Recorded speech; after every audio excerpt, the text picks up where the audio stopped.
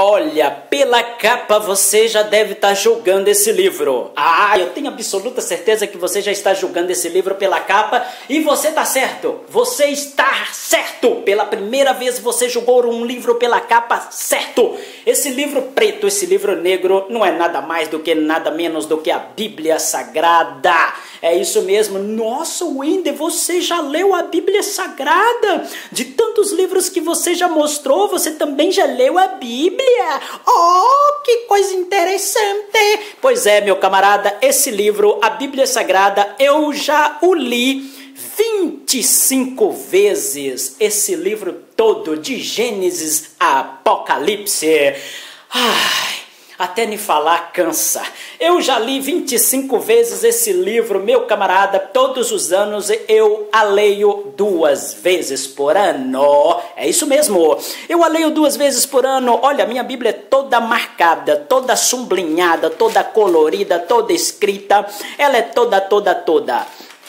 Olha só, essas marcas aqui ó, são sinais de quantas vezes que eu já li. Cada vez que eu leio, eu coloco um sinal, coloco uma letra aqui para mim não perder quantas leituras eu já fiz da Bíblia. Então aqui tem um monte. Eu já li 25 vezes esse livro maravilhoso, esse livro fantástico, esse livro poderoso. E aí é toda marcada a minha Bíblia, camarada. Toda marcada, meu amigo evangélico que nunca leu Bíblia. É toda marcada, meu amigo pastor evangélico que também nunca leu Bíblia. Eu não sei como é que esses caras conseguem ser pastor sem nunca ter lido Bíblia. Eu não sei como é que esses caras conseguem consegue cargo dentro da igreja sem nunca ter lido a Bíblia toda. Eu não consigo entender isso, gente. Me dê, eu preciso de tomar uma paulada para me aprender esse negócio. Como é que as pessoas nunca leu esse livro maravilhoso? Eles são religiosos, seguem um crédulo religioso, mas nunca leu esse livro. Eu não consigo entender isso. E os caras falam a palavra de Deus, a palavra de Deus, mas nunca leu. Eu falo com toda a propriedade porque eu conheço centenas e milhares de crentes que carregam esse livro, mas nunca, nunca leu. Vergonha.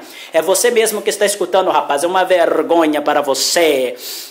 Gente, então esse livro aqui, ó, vocês, eu perdi o meu canal, o YouTube cancelou meu canal porque eu coloquei dois vídeos lá e aí eles não gostaram dos vídeos e cancelaram meu canal. Mas no outro canal que eu tinha, é, algumas pessoas acompanhou e esse canal ele chegou a quase 100 mil visualizações e algumas pessoas acompanharam lá, né? E lá eu fiz o que? Eu fiz 365 dias de vídeos Cada dia eu publicava um vídeo diferente sobre a Bíblia Sagrada, lendo um versículo, contando uma história. Eu coloquei 365 dias de vídeo. Todo santo dia eu coloquei um vídeo lá. Infelizmente o YouTube acabou com o meu canal e de vez em quando eu vou estar colocando esses vídeos aqui nesse canal para você acompanhar. Mas foi isso mesmo. Todos os dias eu gravava um vídeo. Eu fiz uma série de 365 dias de vídeo. O negócio foi pesado, o negócio foi duro, mas eu consegui fazer 365 vídeos, galera, e coloquei aqui no YouTube. É isso mesmo.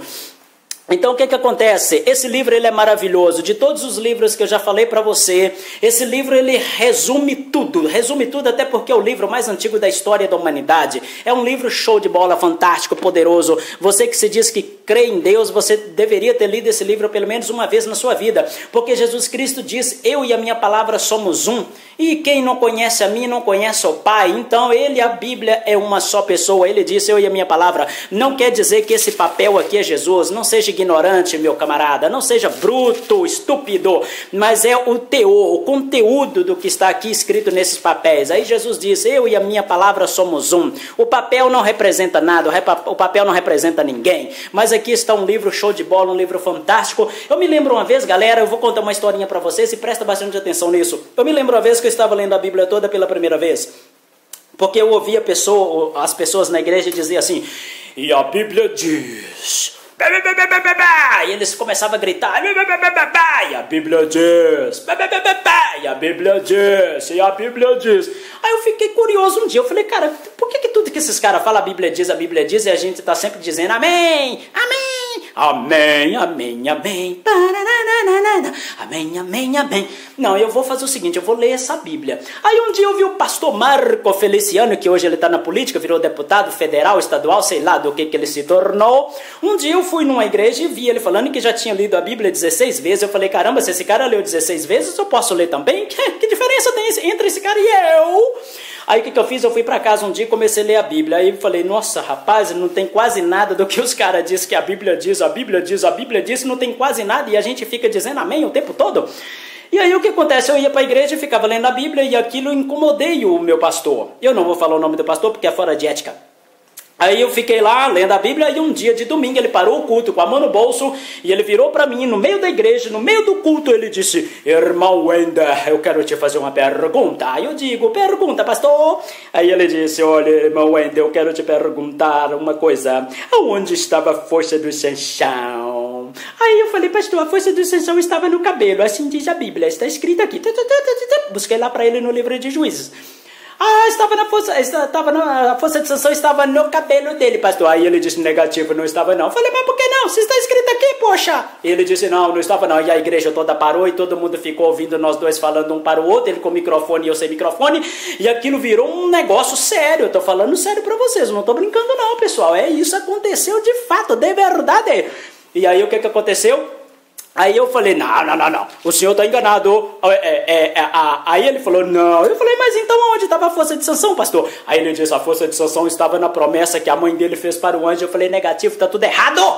Aí ele disse, mas como eu estou errado? Eu falei, esse que o senhor está dizendo aí foi a mãe de Samuel que fez um voto dizendo que se Deus desse para ela um filho, ela nunca passaria navalha na sua cabeça. É a mãe de Samuel, não tem nada a ver com Sansão. Sansão, quando o cabelo dele foi cortado, automaticamente ele perdeu a força. Isso quer dizer o quê? Que a força de Sansão estava no cabelo? Rapaz, esse homem ficou louco, esse homem ficou muito bravo. Aí ele disse, quer saber de uma coisa? Eu vou confessar, eu nunca li a Bíblia, eu tenho tantos anos de crente, mas eu nunca li a Bíblia toda porque eu nunca achei. Gente, aquilo ali me desanimou, aquilo quebrou minhas pernas espiritualmente, é, é, religiosamente falando, sei lá como que você quer entender isso. Mas aí aquilo quebrou minhas pernas. Eu falei, puxa vida, eu tenho um líder espiritual que nunca leu a Bíblia. Ele nunca leu e ele ainda vem me fazer perguntas ridículas para me, me tirar na frente de toda a igreja, porque eu senti que aquela pergunta era para me tirar. Era, esse cara tá lendo a Bíblia, eu vou tirar ele agora, quer ver? Aí pronto, meu amigo, aquilo, aquilo me desanimou, aquilo me levou à ruína. Falei, cara, eu tô um cego que eu não cego. Aliás, eu não tô tão cego porque eu estou lendo e estou sendo guiado por um cego, poxa, eu vou sair desse negócio. Aí eu peguei, vazei, pá, vazei. E aí eu continuei lendo, eu já li 25 vezes e pretendo ler mais 25, mais 25, sei lá quantas vezes, mas eu quero ler muito. Então, meu amigo, esse livro aqui é fantástico para você. Para você que está aí passando problemas de todas as áreas da sua vida, conheça esse livro, pega na estante, leia. Eu tenho certeza que na sua casa tem um livro desse. E pior ainda se você dizer que é evangélico e leu, nunca leu esse livro. Se você escrever nos comentários isso aí, meu cara, é uma vergonha para você. Me desculpa, mas é uma vergonha você dizer que tem uma Bíblia em casa e nunca leu. Para com isso. Eu não vou nem comentar mais aqui, não vou nem falar mais o que eu penso de você. E aí o pior de tudo não é isso, é que tem muita gente que nunca leu a Bíblia toda e quer ficar debatendo Bíblia, cara. Muita gente nunca leu a Bíblia e quer ficar debatendo, quer ficar minha igreja, minha religião, meu Deus, o meu isso, o meu isso, o meu aquilo, eu não sei o que, você vai pro inferno, você vai pro inferno porque você tá fazendo isso, tá fazendo aquilo, você vai pro inferno por causa disso. Cara, uns caras loucos, pá, uns caras loucos, gente, é louco, é louco, uns caras doidos, tem uns caras muito doidos, cara. Os caras nunca leram e fica dizendo que as pessoas vão pro inferno, as pessoas vai isso, a pessoa vai aquilo. Ah, é uma loucura. Meu Deus, eu, eu vou até parar aqui porque já foi 10 minutos de vídeo e vou te falar uma coisa. Se eu ficar falando aqui da Bíblia, a Bíblia, esse livro fantástico, maravilhoso, se eu ficar falando aqui e as decepções evangélicas que eu já vi, rapaz, os camaradas que carregam esse livro aqui apronta cada uma, meu amigo, provérbios, meu amigo, eles aprontam cada uma que você fala, como é que esse cara disse que é pastor, como é que esse cara disse que é presbítero, é evangelista, é isto, é aquilo, aquilo outro, e como é que esse cara chegou a essa posição se ele nunca leu a Bíblia? Gente, me explica como é que um cara pode ser médico se ele nunca estudou a medicina? Como é que um cara pode ser engenheiro de construção civil se ele nunca foi na faculdade estudar construção, caramba? Não dá para entender. E os caras dizem que é evangélico, os caras dizem que é salvo, os caras dizem que tem cargo e nunca leu esse livro. Eu não entendo isso, poxa. Eu fico de boca aberta, eu fico querendo entender. Eu vou ter que reencarnar. Você quer ver que eles vão comentar dizendo que não existe reencarnação? Eu vou ter que reencarnar novamente para entender esses crentes, cara. Vou, vou, realmente, eu vou ter que fazer isso. Eu vou ter que fazer isso, porque nessa geração hoje, nesse corpo que eu vivo hoje, eu não consigo entender esses caras não. Na ideologia que tem hoje, não dá para entender. Quem sabe na próxima reencarnação? Você quer ver que alguém vai comentar aqui que não existe reencarnação? Eu tenho absoluta certeza. Os caras não lê, mas os caras sempre falam besteira. Então, um abraço a você, se inscreva no canal, me xinga, fala o que você quiser, principalmente com respeito à reencarnação, problema seu. Faz alguma coisa nesse vídeo aí, por favor, escreva, compartilhe esse livro, compartilhe o vídeo, compartilhe alguma coisa, faça alguma coisa aí, meu amigo. Chega, sai do parasita, sai do parasismo, sai, sei lá da onde, sai desse sofá, para de criar barriga e vamos que vamos, vamos pra luta, vamos à peleja, vamos à guerra. E porque, meu amigo, se não guerrear, não tem vitória. Um abraço a você e até mais e tchau.